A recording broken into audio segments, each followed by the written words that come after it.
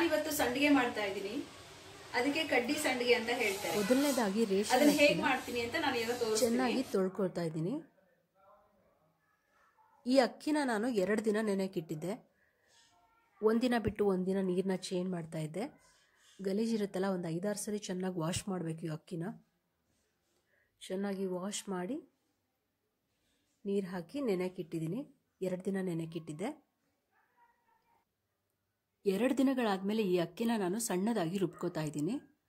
ಈ ನೀರು ದೋಸೆ ಮಾಡೋದಕ್ಕೆಲ್ಲ ರುಬ್ಕೋತೀವಲ್ಲ ಆ ಥರ ರುಬ್ಬಬೇಕು ಸ್ವಲ್ಪ ನೀರು ಹಾಕಿದ್ರೆ ಸಾಕಾಗಿ ಹಾಕಿದ್ರೆ ಸಾಕಾಗುತ್ತೆ. ತರಿ ತರಿಯಾಗಿರಬಾರ್ದು ಯಾವುದೇ ಕಾರಣಕ್ಕೂ ಚೆನ್ನಾಗಿ ಬರಲ್ಲ ಸಂಡಿಗೆ.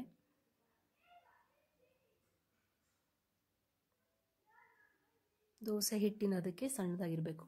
ಆಮೇಲೆ ಒಂದು ಲೋಟಕ್ಕೆ ಎರಡು ಲೋಟ ನೀರನ್ನು ಹಾಕಿಬಿಟ್ಟು ಚೆನ್ನಾಗಿ ಕುದಿಯೋದಕ್ಕೆ ಇಡಬೇಕು. ನಾನು ಯಾವ ಲೋ, ಅಳತೆಯಲ್ಲಿ ಅಕ್ಕಿ ತೊಗೊಂಡಿದ್ನೋ ಅದೇ ಅಳತೆಯಲ್ಲಿ ಎರಡು ಲೋಟ ನೀರು ತೊಗೊಂಡಿದ್ದೀನಿ.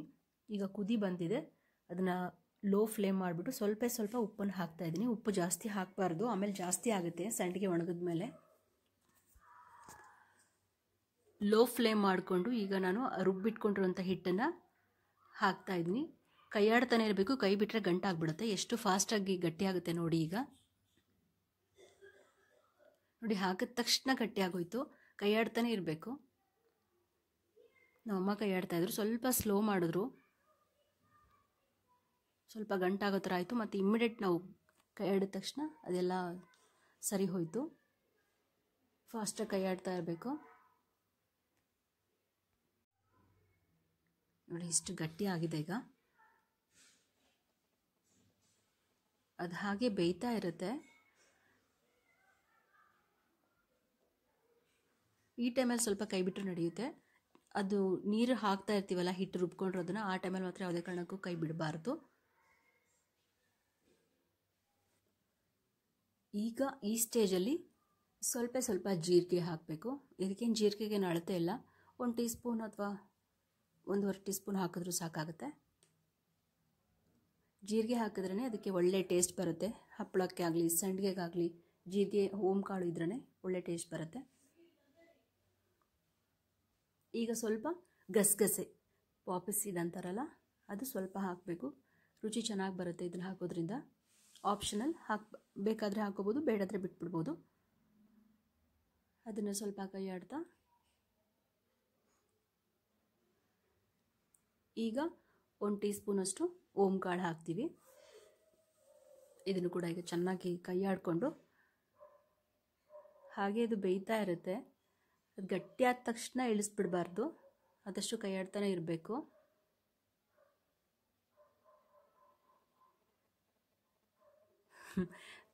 ನಮ್ಮ ಅತ್ತಿಗೆ ಅವರು. ಅವ್ರಿಗೆ ಸ್ವಲ್ಪ ಕ್ಯಾಮ್ರಾ ಅಂದರೆ ನಾಚಿಕೆ. ಆಫ್ ಮಾಡು ಆಫ್ ಮಾಡು ಅಂತ ಇದ್ರು.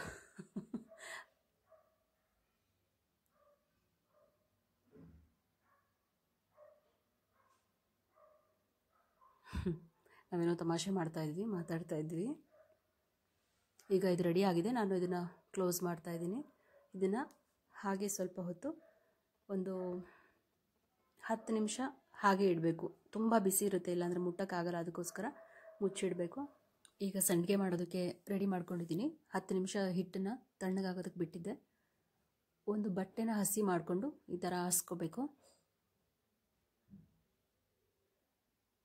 ತುಂಬ ಬಿಸಿ ಬಿಸಿಯಾಗಿ ಇರುತ್ತೆ ಅದು. ಸ್ವಲ್ಪ ತಣ್ಣಗಾದರೂ ಅದು ನಾವು ಕೈಯಲ್ಲಿ ಮುಟ್ಟೋ ಅಷ್ಟು ಆದಮೇಲೆ ನಾವು ಸಂಡಿಗೆ ಮಾಡೋದಕ್ಕೆ ರೆಡಿ ಆಗುತ್ತೆ ಅದು. ತುಂಬ ತಣ್ಣಗಾದರೆ ಚೆನ್ನಾಗಿರಲ್ಲ, ಗಟ್ಟಿಯಾಗಿಬಿಡುತ್ತೆ ಅದು ತಣ್ಣಗಾಗ್ತಾ ಆಗ್ತಾ, ಹಿಟ್ಟು ಗಟ್ಟಿ ಆಗುತ್ತೆ. ಅದಕ್ಕೆ ಆದಷ್ಟು ಬಿಸಿಯಾಗಿದ್ದಾಗಲೇ ಸಂಡಿಗೆ ಹಾಕೋಬೇಕು. ಕವರ್ ಬೇಕಾದರೂ ಹಾಸ್ಕೋಬೋದು, ಬಟ್ಟೆ ಬೇಕಾದರೂ ಹಾಸ್ಕೋಬೋದು. ಆಪ್ಷನಲ್ಲಿ ನಿಮ್ಮ ನಿಮ್ಮ ಆಪ್ಷನ್ ಅದು ಯಾವ್ದು ಬೇಕಾದರೂ ಮಾಡ್ಕೋಬೋದು. ತುಂಬ ಬಿಸಿಯಾಗಿತ್ತು ನನಗೆ ಹಿಡಿಯೋಕ್ಕಾಗ್ತಾ ಇರಲಿಲ್ಲ ಅದು.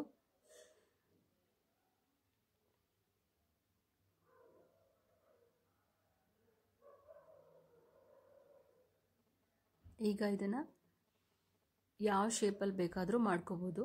ಕಡ್ಡಿ ಸಂಡಿಗೆ ಅಂದರೆ ಅದಕ್ಕೆ ಶೇಪ್ ಇರಲ್ಲ, ಈ ಥರ ಉದ್ದಕ್ಕೆ ಹಾಕ್ಕೊಂಡು ಹೋಗ್ಬೋದು. ಇದನ್ನೇ ಬೇಕಾದರೆ ಚಕ್ಲಿ ಈ ಶೇಪಲ್ಲಿ ಕೂಡ ಮಾಡ್ಬೋದು.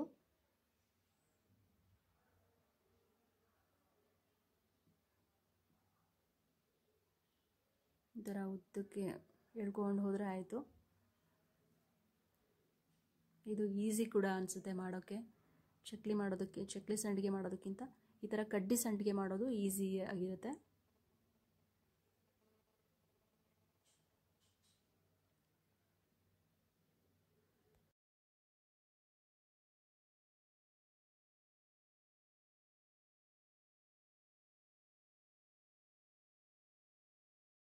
ಇದೀಗ ಹಾಕಿದೆ ಆಗಿದೆ. ನೆಕ್ಸ್ಟ್ ಡೇ ಇದು ಸ್ವಲ್ಪ ಡ್ರೈ ಆಗಿರುತ್ತೆ, ಕೈಯಿಂದ ತೆಗೆಯೋಕೆ ಬರುತ್ತೆ ಹಾಗೆಯೇ ನಾನೀಗ ಇದನ್ನೆಲ್ಲ ತೆಗೆದ್ಬಿಟ್ಟು ಮೇಲ್ಗಡೆ ಹಾಕಕ್ಕೆ ಹೋಗ್ತಾ ಇದ್ದೀನಿ. ಈಸಿಯಾಗಿ ಬರುತ್ತೆ ಇದು ಬಟ್ಟೆಯಿಂದ ತೆಗೆದುಬಿಡ್ಬೋದು. ನಾನೀಗ ಇದನ್ನು ತಗೊಂಡು ಬಿಸಿಲಲ್ಲಿ ಒಣಗಾಕಕ್ಕೆ ಹೋಗ್ತಾ ಇದ್ದೀನಿ.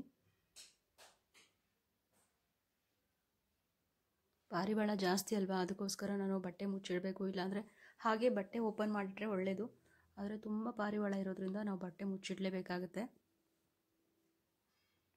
ಎರಡು ದಿನ ಒಣಗಿಸ್ಬೇಕಾಗತ್ತೆ. ಅದ್ಯಾಕೋ ಬಿಸಿಲು ಬೇರೆ ಕಡಿಮೆ ಇತ್ತು. ಆದರೂ ಚೆನ್ನಾಗೇ ಒಣಗಿತ್ತು ಎರಡು ದಿನದಲ್ಲಿ. ತುಂಬ ಚೆನ್ನಾಗಾಗಿತ್ತು.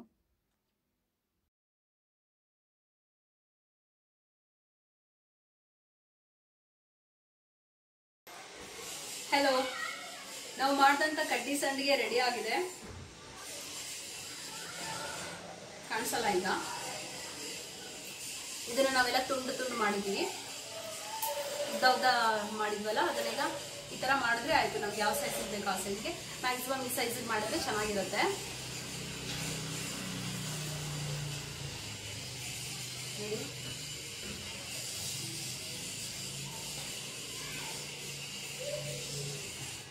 ಎರಡು ದಿನ ನಾನು ಬಿಸಿಲಲ್ಲಿ ಹಾಕಿದ್ದೆ. ಸ್ಟ್ರಾಂಗ್ ಆಗಿರೋ ಬಿಸಿಲಲ್ಲಿ ಹಾಕ್ಬೇಕಿದೆ. ಯಾಕಂದ್ರೆ ಸ್ವಲ್ಪ ದಪ್ಪ ಇರುತ್ತಲ್ಲ, ನೆರಳಲ್ಲಿ ಚೆನ್ನಾಗಿ ಆಗಲ್ಲ ಇದು.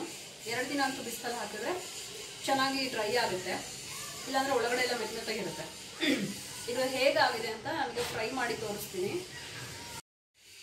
ಎಣ್ಣೆ ಈಗ ಚೆನ್ನಾಗಿ ಕಾದಿದೆ. ಸ್ವಲ್ಪ ಎಣ್ಣೆ ಸ್ಟ್ರಾಂಗ್ ಆಗಿ ಕಾದಿರ್ಬೇಕು ಇದಕ್ಕೆ, ಯಾಕಂದ್ರೆ ಸ್ವಲ್ಪ ದಪ್ಪಾಗಿರುತ್ತೆ. ಎಣ್ಣೆ ಕಾದಿಲ್ಲ ಅಂದರೆ ಕ್ರಿಸ್ಪಿಯಾಗಿ ಬರಲ್ಲ. ಎಣ್ಣೆ ಈಗ ಚೆನ್ನಾಗಿ ಕಾದಿದೆ.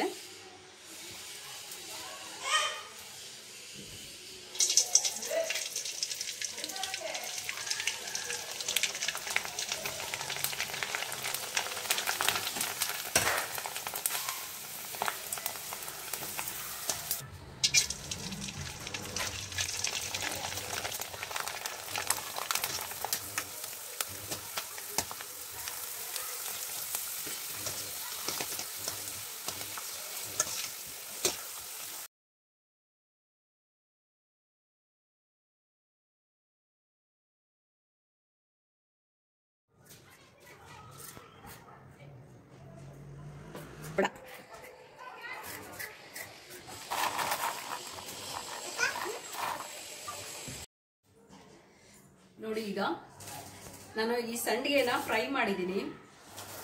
ತುಂಬ ಚೆನ್ನಾಗಾಗಿದೆ, ತುಂಬ ಟೇಸ್ಟಿ ಆಗಿದೆ. ಆಮೇಲೆ ನಾನು ಉಪ್ಪನ್ನ ಇಷ್ಟೇ ಇಷ್ಟು ಹಾಕಿದ್ದು. ಒಂದು ಲೋಟ ಹಿಟ್ಟಿಗೆ ಇಷ್ಟೇ ಇಷ್ಟು ಉಪ್ಪು ಹಾಕಿದ್ದು. ಕರೆಕ್ಟ್ ಆಗಿದೆ. ಯಾವಾಗಲೂ ಸಂಡಿಗೆಗೆ ಉಪ್ಪನ್ನ ತುಂಬ ಕಡಿಮೆ ಹಾಕಬೇಕು. ಎಷ್ಟು ಕ್ರಿಸ್ಪಿ ಆಗಿದೆ ಅಂದ್ರೆ ತುಂಬಾ ಚೆನ್ನಾಗಿದೆ. ಒಂದ್ಸರಿ ಟ್ರೈ ಮಾಡಿ ನೋಡಿ ನಿಮ್ಗೆಲ್ಲರಿಗೂ ಇಷ್ಟ ಆಗುತ್ತೆ. ಹೋಗೋ ಹೋಗೋಣ. ಸ್ವಲ್ಪನೂ ಗಟ್ಟಿ ಇರಲ್ಲ.